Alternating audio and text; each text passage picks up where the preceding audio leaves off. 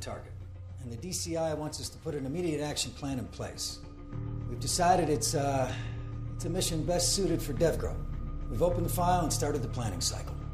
The HVT is in a walled compound. The main building is surrounded by 12 foot walls, two gated and guarded entry points. No telephone lines, no internet. Trash is incinerated. Kids are homeschooled. How many kids? 13, maybe 14. It's a goddamn madrasa. There are at least seven armed military age males in the compound. This structure, here, on top of the main building, looks like it could have been designed as a station for some sort of anti aircraft equipment. And intelligence indicates that the target has access to Stinger missiles. And there are reports that there are 2,000 pounds of C4 in this main structure rigged to a light switch. So is this Bert or Ernie? NRO has a dedicated satellite watching the compound.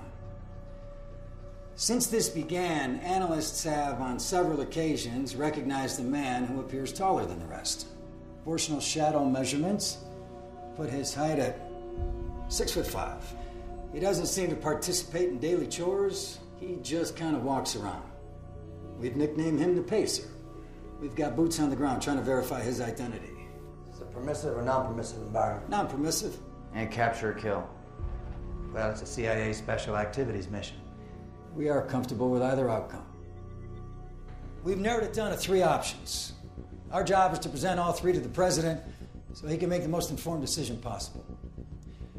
First option is a joint raid with the host nation. However, there is no way of knowing if the target is in league with the host government, so this option runs the real risk, and in my opinion, uh, the near certainty of his being tipped off. Option two helicopter assault. That's where we come in. And how will we insert? TF 160. Night Stalkers will handle the transport. What about tunneling under? Be a lot quieter than bringing in two birds into a rural environment.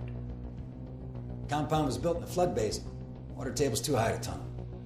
Third and final option is to simply level the compound with a JDAM.